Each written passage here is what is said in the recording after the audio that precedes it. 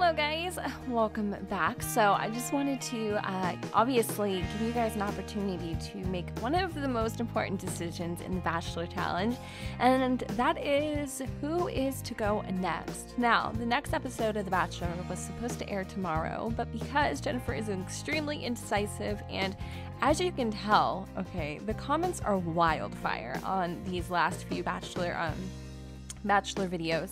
And that is because the passion behind this is real. Um, anyways, I don't know who to choose. I don't know who to eliminate next, and Nolan's confused as all hell. So today I have actually revamped the Urban Sims website. So there's new, some new goodies on there uh, for you guys to check out. And like, if you have any questions or like anything you've ever really wanted to know, like computer specs, all that, it's on there. Um, I've also created a little post of a quick summary of each of the girls in Nolan's feelings to make your decision just a little bit helpful um, or a little bit more easier. I guess, yeah.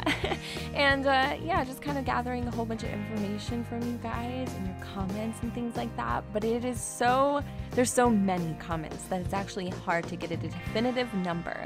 So on xurbansims.com, which is my website, obviously, I'll have all of this information linked below. Uh, there's a poll that is going on, and it is until April 17th. I do know that the poll says April 20th, but for some reason, it wouldn't allow me to choose a sooner date.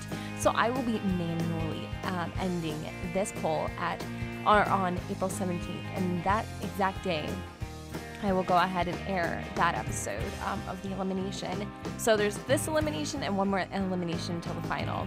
Or actually, this is the last elimination to the final elimination. So it's a pretty big deal, and I wasn't expecting this much feedback, and truly, I cannot choose between the three girls. I just love them so much. So again, there's going to be a um, little uh, poll, and, yeah, poll obviously, and then a little um, like kind of blog, I guess you could say, on my website.